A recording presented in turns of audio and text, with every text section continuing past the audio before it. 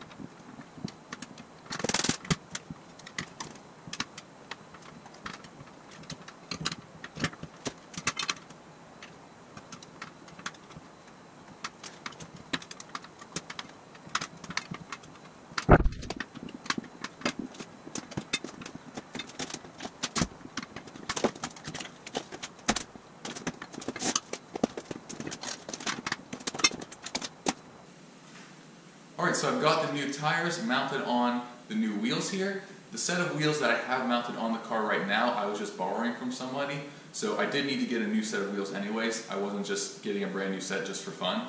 Um, but the tires that are on here now are 32 Fords, so they're 18 inch wire wheels. Um, the tire dimensions are 525 by 550 by 18. And I thought they looked a little bit bigger because after I modified the frame, the wheelbase became a little bit shorter and it looks very slightly out of proportion.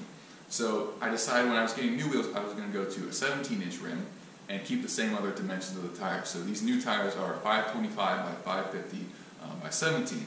But as you can see, they're the exact same outside diameter, or basically exactly the same. So that really didn't do anything for me, um, but it'll work. It'll work just fine. And I do like the kind of jagged tread pattern a little bit more on these new wheels uh, than the old ones. So anyways, what I'm going to do now is get these new wheels mounted on here, and then I'm going to start to tackle the steering.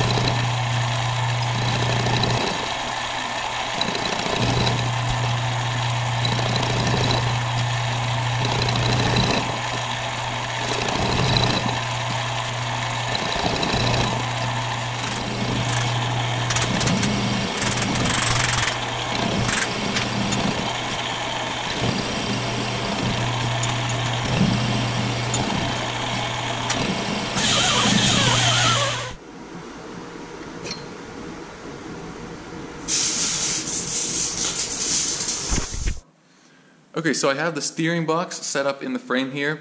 Pretty much how it's going to be. I have a nice brand new Pitman arm for it too.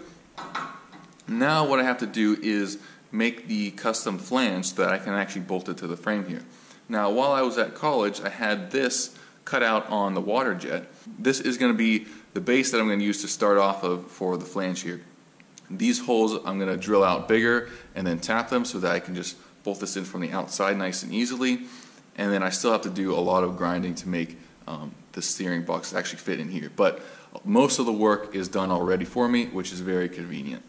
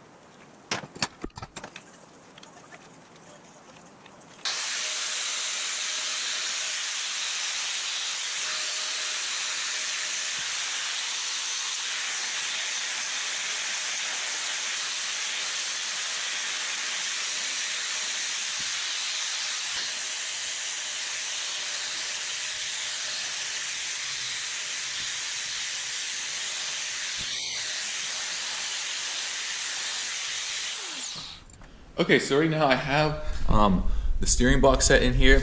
That flange is bolted on inside, and um, the steering box is kind of fit into the flange there. It's kind of setting in place. I have the steering wheel lined up about where I want it to be. I'm probably gonna have to shorten the steering column a little bit later on, um, but the steering wheel looks pretty good right there. So this is pretty much the position that I want to have it in.